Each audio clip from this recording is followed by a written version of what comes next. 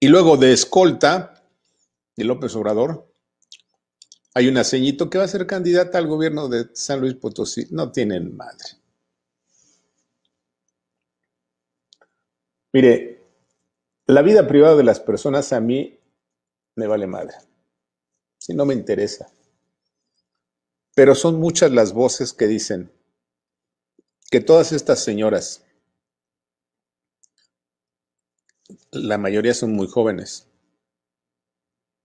que estaban cerca de López y que hoy les dan un hueso, pues fue porque, ya saben, ¿no?